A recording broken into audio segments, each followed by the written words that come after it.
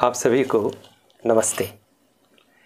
प्रिय विद्यार्थी साथियों आज का यह व्याख्यान शरद जोशी जी पर आधारित है। आप इस व्याख्यान को सुनिए और शरद जोशी जी के जीवन के विभिन्न पहलुओं और उनकी उपलब्धियों को समझ लीजिए। क्योंकि बीए, बीकॉम, बीएससी, बीएचएससी, बीबीए फ़र्स्ट ईयर के आधार पाठ्यक्रम के अंतर्गत भाषा और संस्कृति वाले प्रश्न पत्र में शरद जोशी जी पहली इकाई के पाठ्यक्रम में सम्मिलित हैं। तो बहुत स्वाभाविक है कि उनके जीवन वृत्त से संबंधित कुछ प्रश्न आपको परीक्षा में मिलेंगे और यह व्याख्यान उन प्रश्नों को हल करने में आपकी काफ़ी मदद करेगा। साथियों, शरद जोशी जी मेरे बहुत पसंदीदा रचनाकार हैं और उनकी मैंने अनेक रचनाएँ बहुत मन से पढ़ी हैं। शरद जोशी जी मूल रूप से, मुख्य रूप से व्यंग्यकार रहे। जैसा कि आप जानते हैं कि साहित्य में लेखन की अनेक विधाएँ होती हैं। उपन्यास, कहानी, नाटक, आत्मकथा, यात्रा, वृत्तांत, संस्मरण व्यंग्य रचना आदि आदि। तो शरद जी की जिसमें पकड़ थी, जिसमें वो सिद्ध हस्त थे, वो है व्यंग्य। ऐसा नहीं कि व्यंग्य के अलावा शरद जी ने कुछ और नहीं लिखा। ज़रूर उन्होंने कहानियाँ लिखी। फ़िल्मों के लिए उन्होंने पटकथाएँ लिखी। टेलीविज़न के धारावाहिक के लिए उन्होंने लेखन का काम किया। लेकिन उनकी विश्वव्यापी ख्याति का मुख्य कारण है उनका व्यंग्य लेखन। तो कभी परीक्षा में प्रश्न आता है तो आप उन्हें व्यंग्यकार के रूप में ही चिन्हित कीजिएगा। शरद जोशी जी के अगर हम जीवन यात्रा की बात करें तो हमारे लिए मध्य प्रदेश के होने के नाते ये गौरव की बात है कि शरद जी हमारे मध्य प्रदेश के ही थे। शरद जोशी जी का जन्म मध्य प्रदेश के उज्जैन, जिसको प्राचीन काल में हम अवंतिका कहते थे, उसी उज्जैन में शरद जोशी जी का जन्म हुआ। जी हाँ वही महाकाल की नगरी उज्जैन, उसमें शरद जोशी जी 21 मई 1931 को जन्मे थे। 21 मई 1931 को उनका जन्म श्रीमती शांति जोशी जी और आदरणीय श्रीनिवास जी जोशी जी के घर में हुआ, यानी ये उनके माता पिता थे। उन्होंने प्रारंभिक शिक्षा और महाविद्यालय की शिक्षा बहुत अच्छे स्तर से पास की और उनकी जो साहित्यिक प्रतिभा थी, वो उनके प्रारंभिक दिनों में ही प्रकट होने लगी। यही कारण है कि बहुत युवावस्था में वो अपना स्थान बनाने में कामयाब रहे। जब वो मात्र 20 वर्ष के थे, यानी उन्नीस सौ इक्यावन में, तभी उन्हें इंदौर से निकलने वाले प्रतिष्ठित समाचार पत्र नई दुनिया में काम मिल गया। और उन्नीस सौ इक्यावन से लगाकर उन्नीस सौ छप्पन तक वे नई दुनिया में लेखन का कार्य लगातार सतत करते रहे। तो इस तरह से उनके लेखन की शुरुआत हुई और जब एक बार शुरुआत हो गई तो वो कभी नहीं थमे। और उन्होंने चुटिले व्यंग्यों के माध्यम से देश की सामाजिक, आर्थिक, राजनीतिक विसंगतियों पर दुनिया की आपदाओं पर और दुनिया की विचित्रताओं पर अपनी तीक्ष्ण, तीखी प्रहार करने वाली कलम चलाई, हमें गुदगुदाया, हमें चेताया, हमें झकझोर दिया और साथ ही साथ में सरकारों को भी सुधार करने के लिए प्रेरित किया और कहीं कहीं बाध्य भी किया। उनकी व्यंग संपदा इतनी अधिक है कि कालांतर में वह कई संग्रहों में प्रकाशित हुई। शुरू में तो वो समाचार पत्रों में, पत्रिकाओं में वो प्रकाशित होती थी। जैसे मैंने अभी आपको बताया कि नई दुनिया में उनकी शुरुआत हुई। बाद में मुंबई से जो निकलता है नव भारत टाइम्स नाम का एक बहुत ही प्रतिष्ठित समाचार पत्र है। नव भारत टाइम्स ने तो शरद जी की प्रतिभा को बहुत सम्मान दिया और उनसे कहा कि देखिए शरद जी, आपको प्रतिदिन एक व्यंग्य आलेख लिखना होगा, क्योंकि हमारे पाठक आपके आलेख के बहुत बड़े प्रशंसक हैं। आप लिखिए। प्रतिदिन एक व्यंग्य आलेख लिखना, विद्यार्थी साथियों, ये बहुत बड़ी चुनौती है। रोज़ नया सोचना, रोज़ अपने स्तर का सोचना। और उसमें कोई ऐसी बात कह देना कि पाठक कहे कि हाँ ये शरद जी के कलम से निकली हुई कलाकारी है। उन्होंने इस चुनौती को स्वीकार किया और वर्षों तक प्रतिदिन शीर्षक से ही नवभारत टाइम्स में वो व्यंग आलेख लिखते रहे। मेरा सौभाग्य कि मेरे इंदौर में पढ़ने के दिनों में नवभारत टाइम्स में पढ़ता था और मैंने शरद जी के व्यंग लेख पढ़े। बल्कि यूँ कहूँ कि मैं केवल उस व्यंग आलेख के लिए ही नवभारत टाइम्स को खोलता था तो गलत नहीं होगा। इसके अलावा हमारे देश में बहुत सारे पत्र पत्रिकाएँ निकलते हैं, जैसे कादम्बरी का आपने नाम सुना होगा। इसके अलावा साप्ताहिक हिंदुस्तान उस समय निकलता था। रविवार नाम की एक पत्रिका निकलती थी। इन सब में शरद जी के लेख बहुत सम्मान के साथ स्थान प्राप्त करते थे। बाद में इन लेखों के संग्रह प्रकाशित हुए और कई सारे संग्रह अब हमारे सामने आए हैं।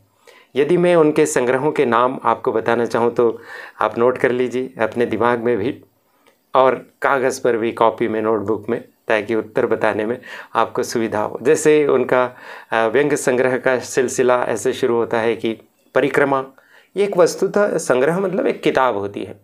और उस किताब का शीर्षक है परिक्रमा। लेकिन उसमें छोटे छोटे दो पेज, चार पेज के ऐसे अलग अलग व्यंग, आलेख बहुत सारे इकट्ठे करके एक जगह कर दिए हैं। तो परिक्रमा नामक संग्रह है। दूसरा संग्रह है, किसी बहाने। एक है तिलिस्म, फिर एक है रहा किनारे बैठ। शीर्षक भी एक से एक अद्भुत रखे हैं। एक है दूसरी सतह। एक तो बड़ा अद्भुत है, हंसाने वाला। हम भ्रष्टन के और भ्रष्ट हमारे। इस शीर्षक से भी उनका व्यंगों का संकलन सामने आया है। यथासंभव एक और संकलन है। जीप पर सवार इल्लियाँ। ये उनकी एक व्यंग रचना होने के साथ साथ उनके व्यंग संग्रहों का शीर्षक भी है। और यह आपके लिए विशेष महत्वपूर्ण है, क्योंकि आपके पाठ्यक्रम में शरद जी की विशाल रचना संसार से जीप पर सवार इल्लियों को चुनकर आपके पाठ्यक्रम में रख दिया गया है तो वो आप पढ़ ही रहे होंगे। नहीं पढ़ा होगा तो एक वीडियो करियर एडवाइस चैनल पर पूरी की पूरे मूल पाठ को आप तक प्रस्तुत करता हुआ इसमें उपलब्ध है। आप उस वीडियो को भी देख सकते हैं। इसके अलावा भी अगर अपन बात करें तो यथासंभव नामक एक और उनकी व्यंग संकलन की कृति है। इस तरह से अगर आप पढ़ना चाहते हैं उनके व्यंग्यों को तो ये पुस्तिकाएँ आप ले लीजिए और पढ़िए। उनके द्वारा जो कहानियाँ लिखी गई, वो भी काफ़ी पसंद की गई। और ऐसी ही उनकी कहानियों पर टीवी का एक धारावाहिक भी बना, और उस धारावाहिक का नाम है लापतागंज। लापतागंज नाम के इस धारावाहिक में बहुत मज़ेदार और रोचक घटनाओं के माध्यम से समाज की पीड़ाओं, समाज की तकलीफ़ों, लोगों के दुख दर्द समाज की विसंगतियों, आम और ख़ास के फ़र्क को बहुत अच्छे से समझाया गया है। फ़िल्मों के लिए उनके लेखन को बहुत पसंद किया गया। चुटीला लेखन होता था। बहुत बढ़िया संवाद लिखते थे। तो अगर हम बात करें कि उनके द्वारा लिखी गई फ़िल्में कौन कौन सी हैं तो एक उत्सव नाम की फ़िल्म आई थी, जिसमें शशि कपूर और रेखा जैसे अभिनेता, अभिनेत्री थे। मैंने भी देखी वो फ़िल्म। तो उत्सव फ़िल्म की कहानी उन्होंने ही लिखी थी। इसके अलावा भी जैसे क्षितिज, दूसरी है छोटी सी बात, सांच को आँच नहीं और गोधुली ये उनके द्वारा लिखी गई फ़िल्में हैं। कभी वक्त मिले तो यूट्यूब पर उपलब्ध है। यूट्यूब पर आप उसको समय मिले तो देखेगा। इसके अलावा टेलीविज़न सीरियल आते हैं ना जैसे, क्योंकि सास भी कभी बहुत ही आपने देखा होगा, कुमकुम वगैरह।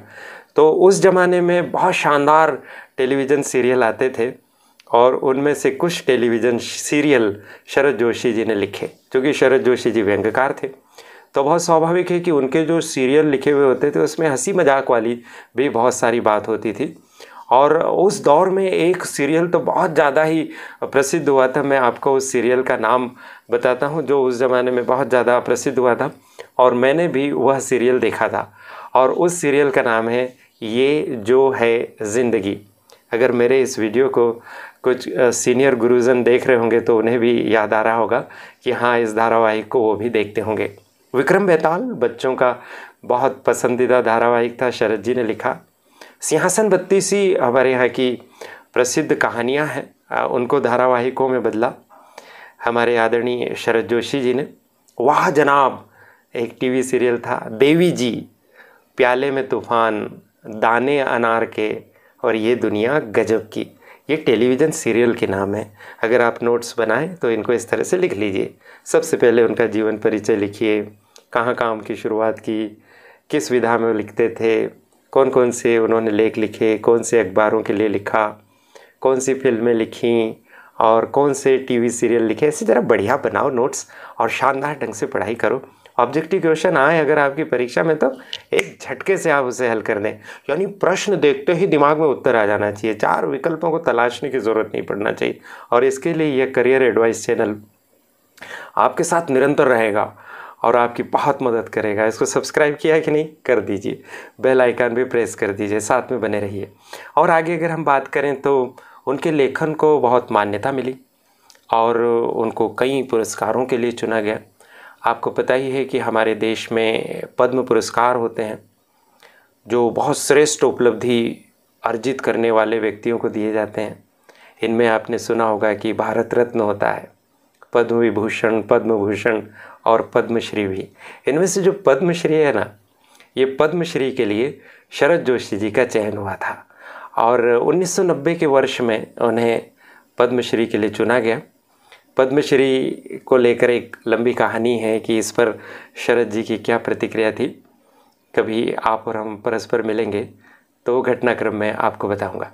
लेकिन हाल फ़िलहाल आप परीक्षा की दृष्टि से याद रखिए कि पद्मश्री के लिए उनका चयन किया गया। चूँकि वो मध्य प्रदेश में थे तो मध्य प्रदेश सरकार ने कहा कि हमारे शरद जी के नाम पर हम तो एक पुरस्कार ही शुरू कर देते हैं। और जिस स्तर पर शरद जी लिखते थे, उसी स्तर पर जो लिखेगा, जो लेखक अपनी कलम चलाएँगे, उनको हम सम्मानित करेंगे शरद जोशी जी के नाम पर। तो हमारे राज्य में एक पुरस्कार है, जिसका नाम है शरद जोशी सम्मान, जिसको मध्य प्रदेश ने शुरू किया।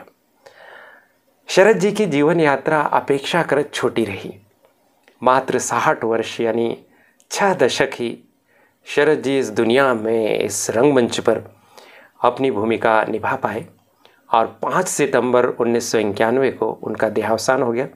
जिस समय उनका निधन हुआ, उस समय वो मध्य प्रदेश में नहीं थे, बल्कि वे महाराष्ट्र में और महाराष्ट्र में उस समय बॉम्बे या बम्बई कहते थे, जिसको आज हम मुंबई कहते हैं। तो मुंबई में 5 सितंबर उन्नीस सौ इक्यानवे को शिक्षक दिवस के दिन शरद जोशी जी का देहावसान हो गया शरद जी चले गए। लेकिन अपने पीछे हमारे लिए छोड़ गए। साहित्य का इतना शानदार भंडार कि अगर हम उसे पढ़ें तो जहाँ हमारी समझदारी बहुत विकसित होगी वहीं पर आ, हम लोग सोच समझ वाले भी बनेंगे। हम समझ पाएँगे कि तह के अंदर क्या छिपा हुआ है। हाथी के दांत खाने के और दिखाने के और सारी विसंगतियों पर बहुत गहरी समझ यदि हमें और आपको पैदा करनी है। शरद जोशी जी जो संपदा छोड़ कर गए हैं, ज़रा पन्ने पलट लीजिए और पढ़िए। हर कॉलेज की लाइब्रेरी में शरद जोशी जी का साहित्य प्रचुर मात्रा में उपलब्ध है तो देर मत कीजिए। परीक्षा के लिए तो पढ़िए ही, लेकिन एक अच्छा इंसान बनने के लिए भी, एक उपयोगी मनुष्य बनने के लिए भी आप शरद जी को ज़रूर ही पढ़िए। नेहा शरद, उनकी प्रतिभाशाली बिटिया है। जिनने लेखन का भी काम किया, साथ में टीवी सीरियल्स आदि में भी उन्होंने एक्टिंग की। साथियों, शरद जोशी जी एक ऐसे व्यक्ति थे और उनकी लेखनी में इतना दम था। कि आपने कवि सम्मेलन सुने होंगे ना, जो रात्रि में होते हैं, गाँव में, शहरों में, कस्बों में? अब बड़ी भीड़ होती है, जनसमूह आता है। और कविगण अपने हास्य कविताओं से, वीर रस की कविताओं से समा बाँध देते हैं, हमको सम्मोहित कर लेते हैं। हम सुनते हैं। शरद जोशी जी के दौर में उन्हें कवि सम्मेलन पर बुलाया जाता था और वे कविता नहीं पढ़ते थे, बल्कि वो अपने व्यंग लेख को पढ़ते थे। और जब वो अपने व्यंग लेख को पढ़ते थे तो जनता वाह वाह कर उठती थी, सोचने के लिए विवश हो जाती थी। तालियों की ध्वनि से पूरा का पूरा पांडाल गुंज उठता था। ऐसे शरद जोशी जी, मेरे और आपके, मध्य प्रदेश और हम सब के, भारत के अनमोल रत्न। आशा है यह जानकारी आपको अच्छी लगी होगी। साहित्यकारों और साहित्य को जानने, समझने में आपकी रुचि पैदा हो सके। इसके लिए इस श्रृंखला को हम निरंतर जारी रखेंगे। केवल ऑब्जेक्टिव चाहिए तो इसी वीडियो के डिस्क्रिप्शन बॉक्स में एक अन्य वीडियो की लिंक दी हुई है, जिसमें शरद जोशी जी पर 19 महत्वपूर्ण वस्तुनिष्ठ प्रश्न दिए गए। हैं इस वीडियो को सुनने के बाद उसे भी सुन लीजिए। जैसे ही आपके सामने ऑब्जेक्टिव क्वेश्चन पढ़ेंगी हमारी करियर एडवाइस चैनल की संचालिका परिश्रमी प्रीति गुलवानिया जी जी, वैसे ही उत्तर आपके दिमाग में आ जाएगा। मुझे बोलने का अवसर मिला, शरद जी के बारे में बात कहने का अवसर मिला। मैं उनसे मिला हूँ, इसलिए बहुत खुश दिख रहा हूँ। उनकी रचनाएँ भी खूब पढ़ी हैं। इसके लिए, पुरानी यादों को स्मरण कराने के लिए और अपने अनुभव को साझा करने का अवसर देने के लिए, करियर एडवाइस चैनल की संचालिका प्रीति गुलवानिया जी जी के प्रति और उनकी परिश्रमी टीम के प्रति बहुत बहुत आभार। आप सभी को शुभकामनाएँ। शीघ्र ही मिलेंगे हम किसी और साहित्यकार के जीवन वृत्त पर चर्चा करते हुए। प्रणाम।